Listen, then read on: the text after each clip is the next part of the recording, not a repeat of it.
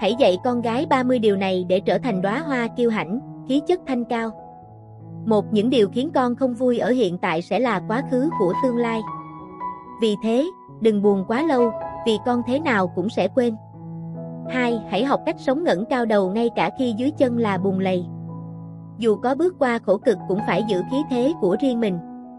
Dù có ở nhà nhỏ, ăn cơm đạm bạc thì sàn cũng phải sạch, chén bát cũng phải thơm.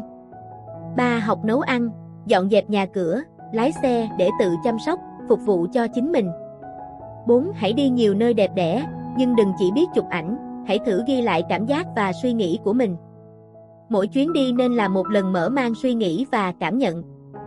5. Chỉ có học tập, không ngừng cố gắng thì sau này con mới muốn gì có đó. Đàn ông cho con tình yêu, còn tiền thì bản thân con phải tự kiếm lấy. 6. Những ai từng tổn thương con, sau này rồi cũng chỉ tồn tại thành một cái tên trong tâm trí của con. Vì vậy, đừng quá đau lòng. 7. Nắm được thì buông được, cầm lên được thì hạ xuống được. Con có thể làm được, chỉ là có dám hay không, có đủ kiên trì hay không. 8. Phụ nữ sống thiện lương là tốt, nhưng phải biết bảo vệ và quý trọng bản thân. Con đừng lương thiện với người khác mà tàn nhẫn với chính mình. 9. Một mối quan hệ có thể mang đến cho con nhiều điều không vui, nhưng con cũng đã có những hạnh phúc. Chuyện gì cũng thế, đều có được có mất, đó là cuộc sống. 10. Ai cũng có thể rời đi, nhưng những ai chân thành đối tốt với con thì nhất định đừng để họ biến mất. 11. Chỉ cần mỗi sáng con có thể tỉnh dậy thì đó đã là một ngày đáng mong chờ những điều tốt đẹp sẽ đến. 12. Khí chất của phụ nữ có thể đến từ những trang sách uyên thâm. Vì vậy đừng bao giờ quên đọc sách. 13. Con người cần ăn uống, nuôi sống bản thân, nhưng cũng phải cần thể diện, phẩm giá.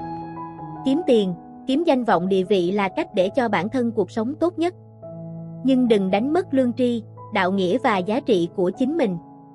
14. Sống hạnh phúc là một quá trình từng ngày chắc góp hạnh phúc. 15. Khi con còn sống thì con sẽ còn hối hận, con người chính là vậy. Đừng hối tiếc những cái cũ mà bỏ lỡ những điều vui vẻ phía trước. 16. Có đam mê là điều đẹp đẽ, đừng từ bỏ nó. 17. Khi còn nhỏ hãy dung nạp kiến thức, trưởng thành rồi hãy can đảm trải nghiệm. Có như thế con mới thấy cuộc đời đẹp đẽ và đáng sống thế nào. 18. Cuộc đời sẽ có an bài cho những ai lương thiện. Con chỉ cần sống lương thiện, còn lại hãy để trời cao an bài. 19. Ba thứ của cải tinh thần lớn nhất của phụ nữ chính là nụ cười, sự tao nhã và tự tin. 20. Đừng bao giờ hạ thấp bản thân để thỏa hiệp với người không xứng đáng. 21. Phụ nữ sống tốt là vì mình đầu tiên, đừng nghĩ rằng đó trách nhiệm phải đối đãi với người khác. 22. Một mối quan hệ tốt sẽ giúp con tốt hơn. Thay vì cố gắng duy trì một mối quan hệ khiến con xấu đi, hãy để thời gian làm những việc có ích hơn. 23. Phụ nữ cần một người có trách nhiệm để nương tựa. 24. Con chỉ có một cuộc đời để sống, đừng sống theo suy nghĩ của quá nhiều người. 25. Người đàn bà độc lập, trước nhất là trong suy nghĩ, sau đó là tiền bạc. 26. Tình yêu không sai, nhưng con có thể yêu sai người hay sai cách. 27. Sự giàu có không bao giờ trường tồn mãi mãi. Chỉ có sự ấm êm, hạnh phúc, hòa hợp trong gia đình mới được lưu truyền từ đời này sang đời khác. 28. Đôi mắt đặt ở phía trước là để con luôn nhìn về phía trước. Đừng ngoảnh đầu lại, sống núi tiếc con sẽ không thể bình yên.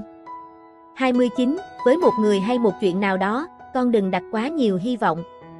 Hãy chừa một đường lui cho mình. 30. Đã chọn thì phải chịu, đã hối tiếc thì hãy dừng lại.